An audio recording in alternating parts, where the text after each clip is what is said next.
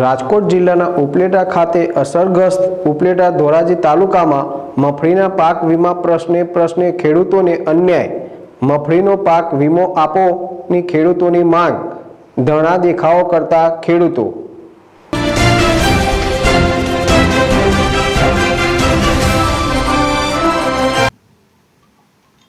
રાજકોટ જિલ્લાના ઉપલેટાના બાપુના ચોકલા ચોક ઉપલેટા ખાતે આજરોજ ડાયાભાઈ ગજેરાની આગેવાની હેઠળ અને ગુજરાત કિસાન રાજકોટ જિલ્લા તથા ઉપલેટા પંથકના ઉપલેટા ખાતે અસરગ્રસ્ત ઉપલેટા ધોરાજી તાલુકામાં મગફળીના પાક વીમા પ્રશ્ને ખેડૂતોને અન્ય મગફળીના પાક વીમો આપવો અને ખેડૂતોની માંગ ધરણા દેખાવો કાર્યક્રમ કરતા ખેડૂતો અને જો આગામી દિવસોમાં ખેડૂતોના વીમા પ્રશ્ને યોગ્ય ન્યાય નહીં મળે તો વધુ આંદોલન ઉગ્ર બનાવવામાં આવશે. આ કાર્યક્રમમાં ધરણાનું દેખાવ સૂત્રોચ્ચાર કરવામાં આવ્યા હતા.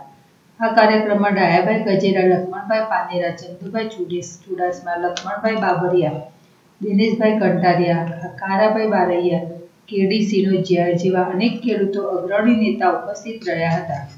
ભાનભાઈ સુવા જડેશ ટેવલ ઉપલેટા હું નામ કારાભાઈ બારિયા. હું નાનો ખેડૂત છું. અને આજે જે ધારણાનો કાર્યક્રમ અમે કર્યો છે, ખેડૂત અમે આક્રોશ પ્રગ- પ્રગટ કરવા માટે કે જે અમારો અ, વીમો મગફળીનો વીમો છે મગફળીનો ન ન- મળ્યો, એ માટે અમે આજે જે ધારણાનો કાર્યક્રમ કરીને સરકાર સરકાર અમને આક્રોશ અમે વ્યક્ત એ બદલ આજે ઘણા બધા ખેડૂત આવ્યા. ગામડે ગામડે અમને પ્રવાસ કર્યો. અને ગામડે ગામડેથી અમને ખેડૂતે ગામડે ગામડે અમને આક્રોશ વ્યક્ત કર્યો. સરકારનો જે છે, બધા ખેડૂતો બધે અમને ઘણી બધી માહિતી આપી. કે આ સરકાર આપણે ખેડૂત અમને લક્ષી નથી. ખેડૂતોને જે વીમો ન આપે, જે હકદાર છે વીમાને માટે, જે એક બાજુથી સરકારે નીતિ જાહેર કરી કે આ ઉપલેટા તાલુકાને અસરગ્રસ્ત જાહેર કર્યો અને વીમો નથી આપતી.